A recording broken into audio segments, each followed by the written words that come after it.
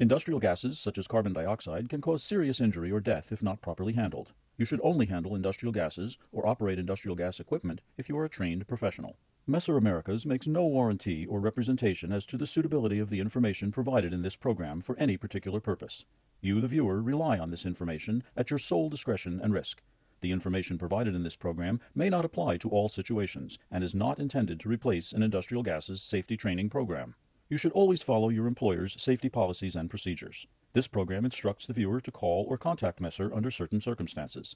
If you work with industrial gases and equipment that is not supplied by Messer, it is important that you contact your industrial gases supplier if you have an emergency or require support.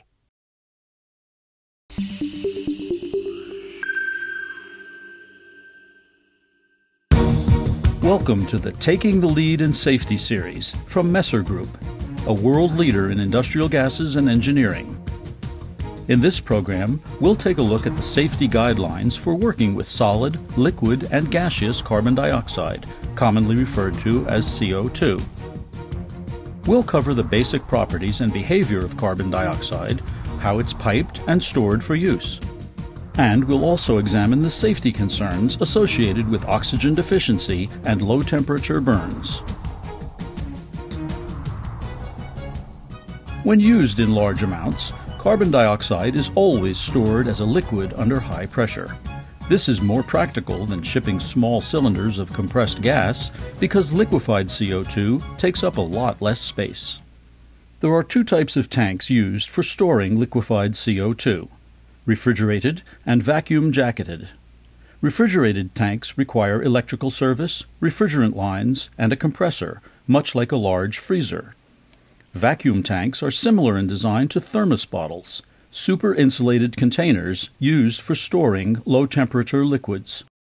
It's important to know how to stop the flow of product from the tank in case of emergency. Each CO2 tank has a main isolation valve that can be closed in the event of an emergency to stop the flow of CO2. By turning the main isolation valve to the closed position, any leak or other product related emergency can be controlled. Any continuous discharge of product, either solid or vapor, indicates an abnormal condition. If any problem is suspected with the tank or tank piping systems, contact Messer at the phone number posted on the tank. Liquid CO2 flowing from the tank is extremely cold. Ice accumulation on the piping is due to moisture from the atmosphere freezing on the cold surface of the piping. It's important not to touch any cold surfaces around the tank, or you could receive a cold burn, or your skin could stick to the pipe itself. Always keep the tank area clear of materials, cars, and other vehicles. Backing in a liquefied gas delivery tanker takes a lot of room, so be sure and maintain a wide, clear path at all times from the road to the tank.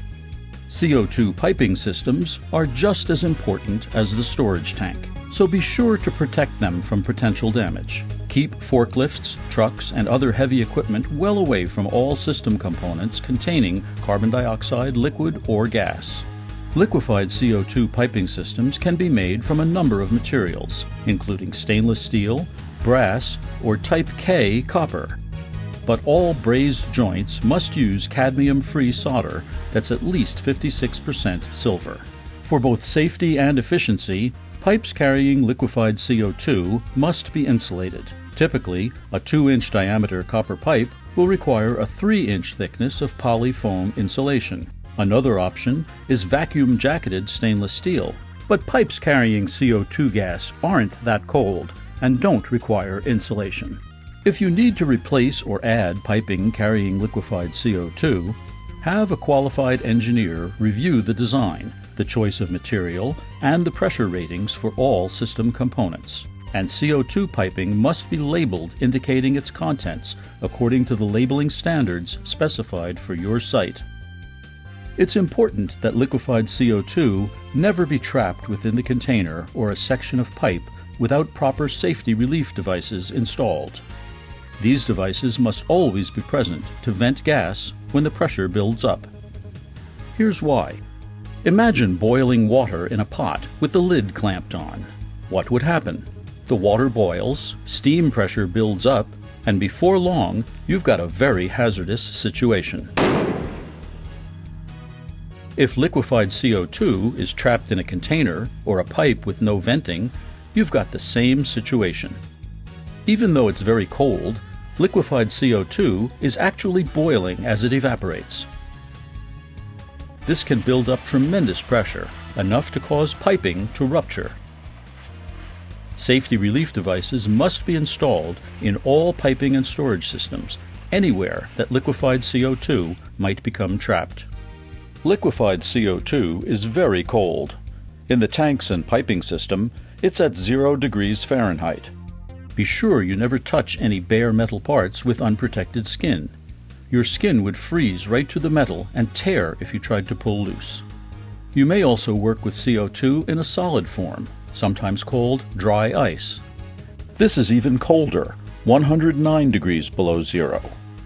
Dry ice has the potential to cause serious low temperature burns. Gaseous CO2 is odorless. The vapor you sometimes see where carbon dioxide is being delivered or stored is misleading. That's just water vapor condensing in the surrounding air. Once CO2 gas has reached normal air temperature, it's completely invisible. The temperature of the CO2 gas can vary a lot depending on how it's created or vaporized. It can range in temperature from 109 degrees below zero Fahrenheit up to ambient temperature and above. And remember, CO2 gas does not need to be visible to be a hazard. Let's talk further about the risk of the low temperature burns. If your skin comes into direct contact with liquid or solid CO2, you can suffer frostbite. Contact of even a few seconds can be very painful. But even without the pain, this type of injury can be recognized by the yellow, waxy appearance of the frozen tissues. If you get a low temperature burn, don't rub the frozen area and don't try to warm it with dry heat. Instead, put the affected area under lukewarm, never hot water and remove any restrictive clothing. The best way to avoid low temperature injuries with CO2 is to always wear protective clothing whenever handling it in any form. Workers should wear long sleeved shirt and pants of 100% cotton, eye and face protection, safety toed boots, and loose fitting insulated gloves. People die from exposure to CO2 gas every year. Carbon dioxide presents a very serious risk for two reasons. First, as CO2 gas builds up in the air, it displaces everything else, so the percentage of oxygen drops. At very low oxygen levels, you don't have time to know what's happening. With just a few breaths, you can become unconscious. And second, in concentrations above the OSHA permissible exposure limit of 5,000 parts per million, or one half of 1% in the air, symptoms such as headache, dizziness, and increased heart rate and blood pressure can occur. For example, when it's used for bulk chilling or freezing, the CO2 gradually evaporates, releasing the gas into the air. The gas can also be released when residue of CO2 snow on frozen products evaporates. Both of these situations can be extremely dangerous because they can cause toxic amounts of gas to build up very gradually and deplete the amount of oxygen in the air without any warning.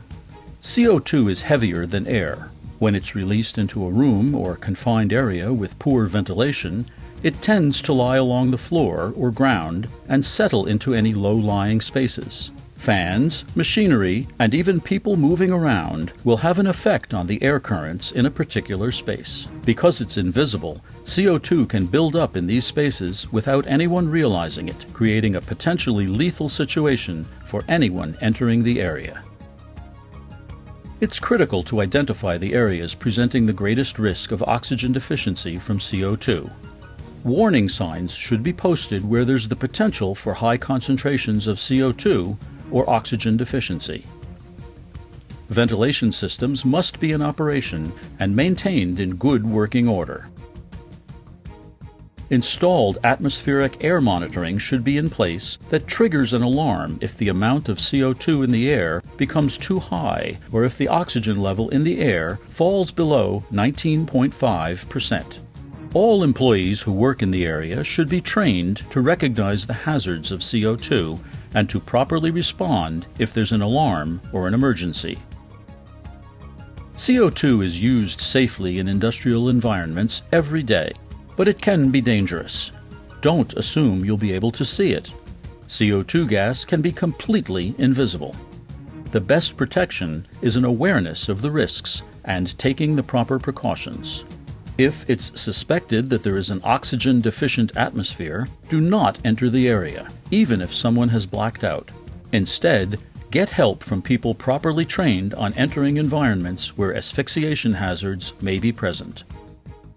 All affected employees should be trained on the safety data sheet for carbon dioxide.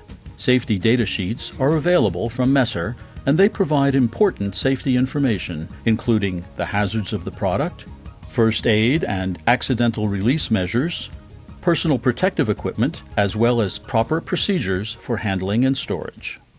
Let's review the key points of carbon dioxide, CO2. For most industrial applications, CO2 is stored as a liquid under high pressure in a refrigerated tank or vacuum jacketed tank. The temperature of liquefied CO2 is about 0 degrees Fahrenheit, while solid CO2 is 109 degrees below zero. These temperatures create a serious risk of low temperature burns, so always handle CO2 wearing appropriate protective clothing. CO2 is heavier than air, so it tends to collect along the floor and settle in low lying areas. Facilities using CO2 in any form should always be equipped with exhaust ventilation systems and ambient air monitoring. CO2 presents a significant risk of asphyxiation because it displaces oxygen and can paralyze the respiratory system.